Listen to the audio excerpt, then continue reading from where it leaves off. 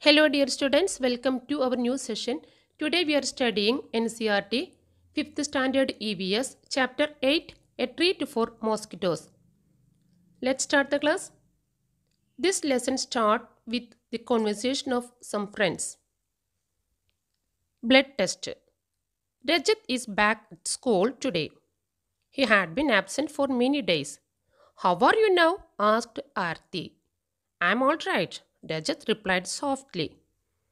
Jaskirat, you must have played a lot while you were at home.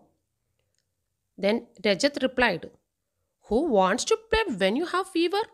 On top of it, I had to take a bitter medicine. I even had a blood test.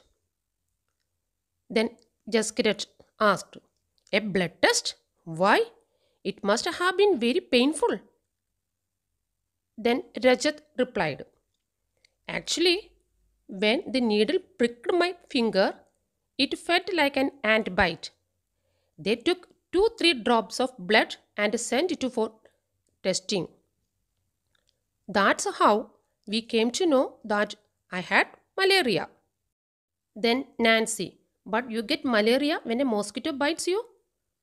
Rajat, yes, but we find out by the blood test. Jaskirat, there are a lot of mosquitoes in my house these days, but I did not get malaria. Nancy, who says that every mosquito bite causes malaria? Malaria spreads only by the disease carrying mosquitoes. Then Aarti, all mosquitoes look the same to me. Then Rajat, there must be some difference. Then Nancy, did they take the blood from the place where the mosquito had bitten you? Then Rajat replied, Of course, not. How do I know when and where the mosquito bite me? Then Nancy, but how could they find out that you had malaria by your blood test? Do you think they could see something in the blood? For blood test, taking the blood on the glass slide for test. Dr. Mariam, looking at the blood slide under the microscope. This microscope makes things look thousands times bigger. The details inside the blood can be seen clearly. There are some microscopes which make things look even more bigger than this one. Find out. Do you know anyone who has had malaria?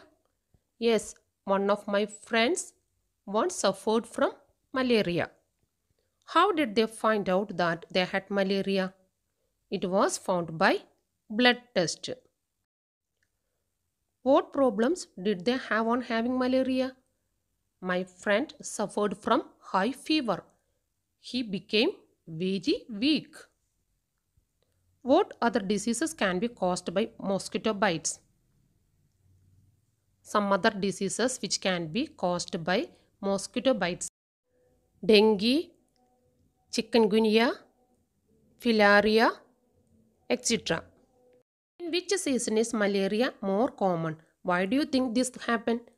Malaria is very common in rainy season. It is because mosquitoes get suitable environment to breed during the rainy season. What do you do in your house to protect yourself from mosquitoes?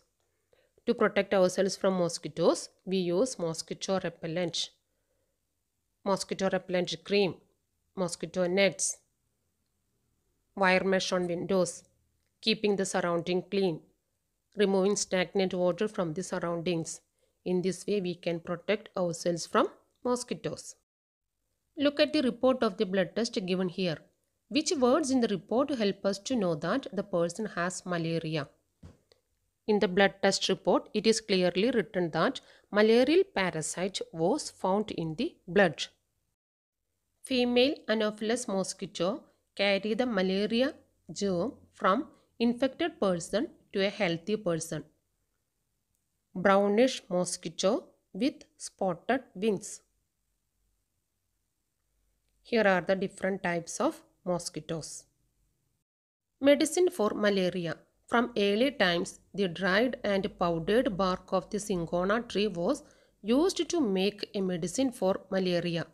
Earlier people used to boil the bark powder and strain the water which was given to patients. Now tablets are made from this. Next part is about anemia. Anemia, what's that? Aarti, you know, I also had to get a blood test done, but they took a syringe full of blood. The blood test showed that I had anemia. Then Rajat asked, What is that? Then Aarti replied, The doctor said that there is less hemoglobin or iron in the blood. The doctor gave some medicines to give me strength. He also said that I should eat jaggery, amla, and more green leafy vegetables because of these have iron. Nancy, how can there be iron in our blood? Jaskirat. There was something about this in the newspaper yesterday. Rajat laughing. So then you ate iron or what? Then Aarti. Silly, this is not the iron used to make these keys. I don't know exactly what it is.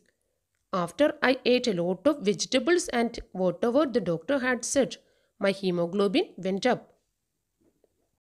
Students, do you know about hemoglobin and anemia? Anemia is a deficiency disease which is caused due to the deficiency of hemoglobin in the blood. Nutrients mixes with our blood to make us healthy. The important nutrients essential to our body are carbohydrates, proteins, fats, vitamins and minerals. Minerals are inorganic substances present in our food. Our food requires them in small quantities for proper functioning of various body systems. We obtain minerals through our diet. Iron is required for the formation of hemoglobin. Calcium, iron, phosphorus, sodium, etc. are some minerals found in the food. We should eat jaggery, amla and more leafy vegetables to increase hemoglobin or iron in the blood. Anemia common in Delhi school. 17 November 2007, thousands of children studying in the municipal corporation schools in Delhi suffer from anemia. This is affected both their physical as well as mental health. Due to anemia, children do not grow well and their energy levels are low. This also affects their ability to study properly. Now, health checkups are being done in the schools and health cards are being made for all the children. Anemic children are also being given iron tablets. Look at the Aarti's blood report and find out the minimum required hemoglobin. The minimum hemoglobin level required in the blood is 12 grams per dilution. How much did Aarti's hemoglobin go up and how long did it take for that?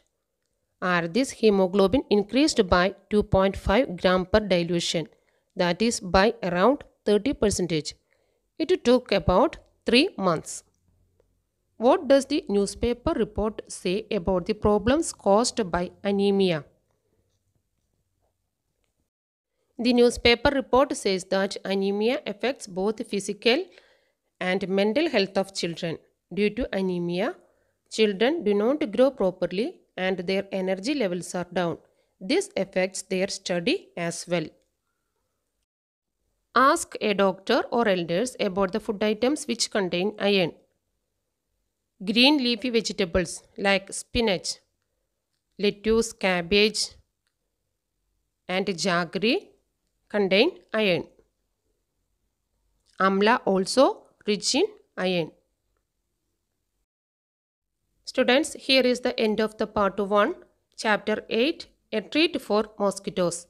Hope all of you understood well. Thank you and have a nice day.